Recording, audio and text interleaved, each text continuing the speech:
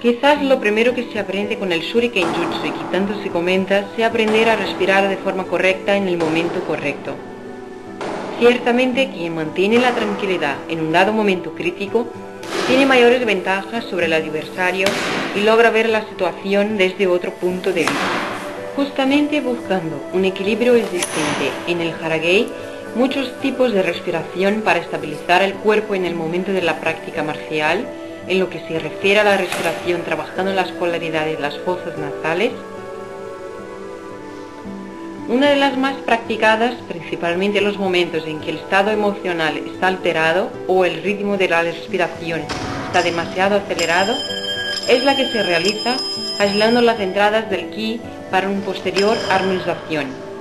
Para ello, al sentarse con la columna recta, en posición 6A o no, trabajaremos las polaridades energéticas del cuerpo.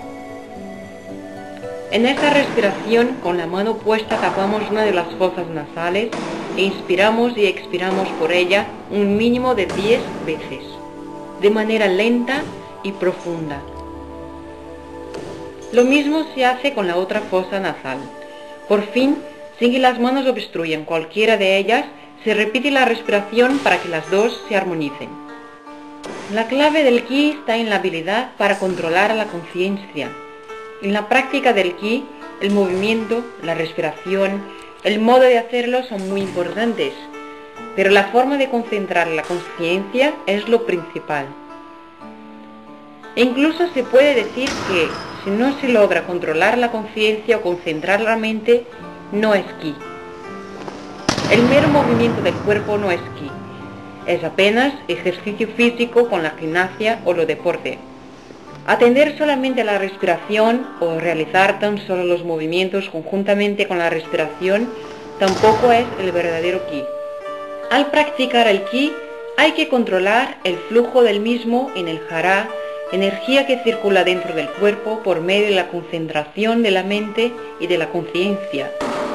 Esto es haragi, o sea, dirigir el ki y en esto reside el verdadero ki. Todos tenemos ki en el jara, en el cuerpo, sin embargo, normalmente se encuentra disperso y puede estar fluyendo en una única dirección, según la sangre y los meridianos. El lado derecho del cuerpo, la frente, la línea media del pecho y del vientre tienen polaridad positiva. Así, en la parte frontal del cuerpo predomina el polo positivo. El lado izquierdo, la nuca y la columna vertebral tienen polaridad negativa. Así, en la mayor parte de la espalda predomina la polaridad negativa. Los polos negativos no tienen un efecto nocivo para el organismo, pues no tienen relación con las energías negativas. Estas sí que son perjudiciales para el organismo de los seres vivos.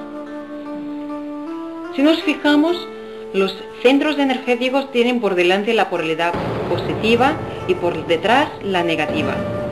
Si colocamos la mano izquierda in, la espalda in y la mano derecha yang en la parte frontal yang, activamos las energías pues hay excitación, calentamiento, fuerza y sueño magnéticos.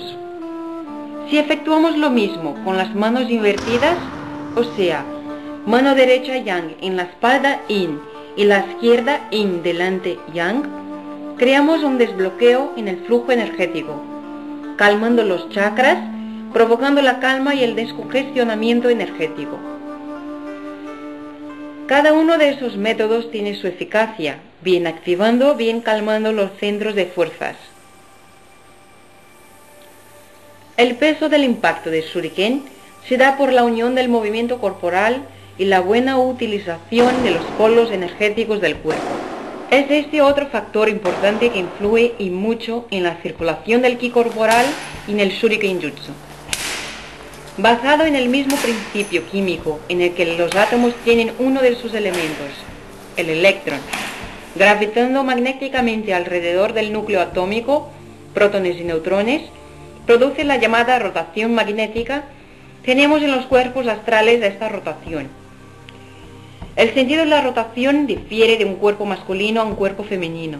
Tenemos así, según los estudios del Bugey, la rotación en el sentido de las agujas de un reloj para los hombres que posee naturalmente la energía yang, y rotación en sentido contrario a las agujas de un reloj para las mujeres, que posee naturalmente la energía yin. En el proceso de lanzamiento, donde la fuerza impulsada por las caderas funciona como una palanca con su centro en el jara, la dirección del shuriken como forma de alcanzar el blanco deseado fluye de dentro hacia afuera, a través de un puente imaginario entre la mano que lanza y el blanco que debe ser alcanzado.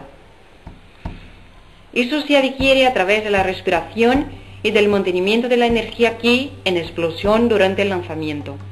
Por lo tanto, estudiado dentro del Shuriken Jutsu, el Haragei se hace profundo y su transferencia se establece como una disciplina compleja y llena de detalles, que se amplía en un universo de acciones y reacciones energéticas corporales a través de una práctica diaria. Sumergirse en ese mundo de energías y aprender a controlarlas puede ser, inicialmente, tan difícil como para un niño es aprender a gatear, a equilibrarse, a levantarse y a caminar. Pero no es imposible. La búsqueda debe ser persistente, el camino puede cansar, pero la recompensa es inconmensurable. En lo que se refiere a la educación marcial, con el shuriken, ciertamente se producía después de los 14 años de edad. Considerado un artefacto sorpresa en las guerras, las escuelas de familias que enseñaban el arte del lanzamiento de láminas conocían de que difícilmente una persona alcanzada por el shuriken podría morir. Por eso mismo empezaron a embeber la lámina en venenos que paralizaban al enemigo, neutralizando su acción de ataque. El poder del veneno podría ser suave o potente y en esos últimos casos tendría como consecuencia la muerte rápida. El entrenamiento en el arte del shuriken exige mucha disciplina y concentración. Debe de ser diario y la ausencia de práctica, aún por un corto periodo de tiempo, altera significativamente el resultado del lanzamiento. Con ello, queremos decir que el Shuriken Jutsu es un arte que necesita insistencia, paciencia y principalmente la noción de que el fracaso en alcanzar el blanco podrá ser constante. Ese fracaso siempre aparece en momentos de falta de entrenamiento, de manera que el alumno debe saber manejar el día a día de la práctica. La técnica es 50% del éxito. El otro 50% reside dentro de cada persona y como somos emocionalmente inestables y el ki fluye a través de las extremidades de nuestro cuerpo, naturalmente por la mano que lanza el shuriken, ese estado interior se exterioriza.